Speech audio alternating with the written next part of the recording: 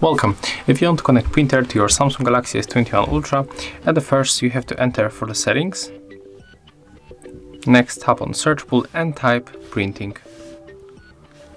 Let's go and select this option, click on the printing and as you can see we have to tap on the switcher to turn on default print service and then simply click right here and as you can see after a few moments our smartphone connects automatically to HP Color or LaserJet Pro printer but uh, if in your case your your smartphone cannot find the printer, you have to go back, then tap to download plugin.